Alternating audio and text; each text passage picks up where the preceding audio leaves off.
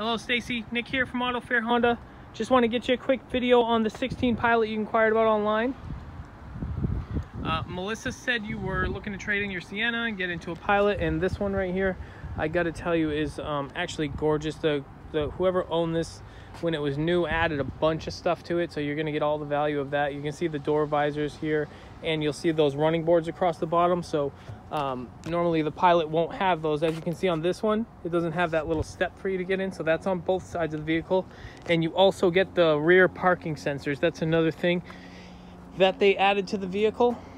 You're gonna get the gray leather interior. Unfortunately, I don't have the keys on me, so I won't be able to open this, but it's a gorgeous, nice touchscreen for your audio and all your controls there. Dual front heated seats. Okay. And you'll get a power uh, tailgate here and then you'll see these these little dots. These are your parking sensors here. Those are across the whole bottom bumper here. And that you know if you start getting close to something backing up that will beep for you too. All right Stacey. So if you have any questions just give us a call here at Auto Fair Honda 603 634 4700 thank you Stacey. Have a great day